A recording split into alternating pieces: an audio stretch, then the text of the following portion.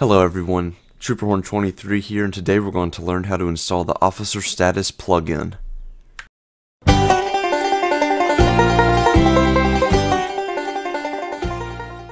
So what this plugin does is it allows you to open a menu so you can tell dispatch 10 codes and it just really adds to the immersion and I really like the traffic stop feature that it has where you can say a 1011 and how many times it's occupied and we'll go into all that when we get in the game. But the link will be in the description to downloading this. You can check it out. Here's all the 10 codes. And it'll show you unavailable for calls available for calls. Just a lot of really cool things. I really recommend it if you use vocal dispatch which I do not use vocal dispatch and too many issues with that. But um yep. All you need is LSPDFR rage and you're ready to go so just hit this download this file right here, agree and download, and drag it out to your desktop like we have here. Now this is really easy, just go ahead and navigate to your Grand Theft Auto main directory. Remember it's always the one that just says Grand Theft Auto 5 and nothing else. And once we're in the main directory, we can open that Officer Status plugin, uh, WinRAR folder, and it's going to have another folder in it called Officer Status Plugin. Open that, don't worry about the README, go into GTA 5 main right here. And we have a plugins and LSPDFR, go ahead and just select both of these here and drag and drop them into your main directory. Just like that. After you're done with that, you can go ahead and X out of Officer Status Plugin. And there's really no configuration here. If you want, you can go into Plugins, LSPDFR, and here's the plugin, the Officer Status plugin. Go to the configuration setting. The only thing you can change is the menu key, which I leave at F7, and you can change your name, which obviously I've changed my last name to Horn. And what's really cool is I think uh, this is based in North Carolina, right here, and I live in North Carolina, so that's really convenient for me. So after you're done with those things, after you drag and drop the plugins in LSPDFR folder into your main directory, we can go ahead and get on in the game. Before we get in game, guys, don't forget that I do have a community Discord that you can come in here and chat with other people, including myself, that um, also play LSPDFR.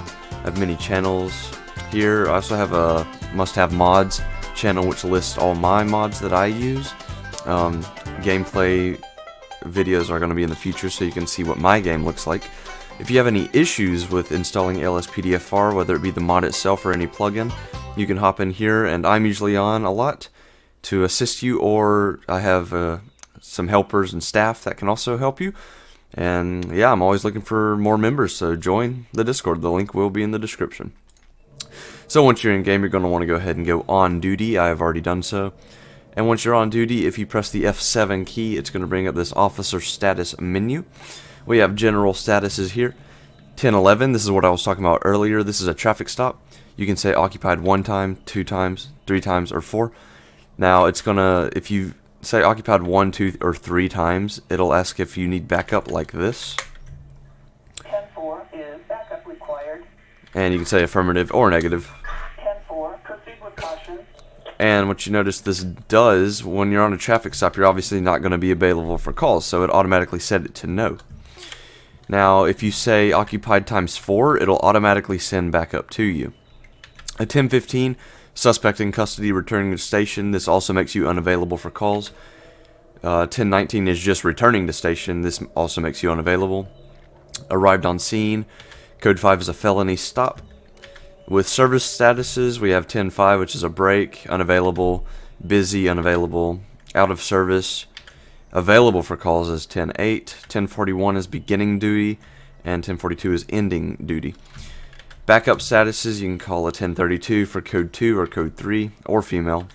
1051 is tow truck, 1052 EMS, or 1053 fire department. I don't use really any of these since I use um, Police Smart Radio and Stop the Ped and Ultimate Backup. But they are there. The panic button, it obviously, um, you need Ultimate Backup. It just does the exact same thing there. So that is Officer Status plugin. I'll go ahead and show you if you call a 10.8 it will now make you available for calls, just like that.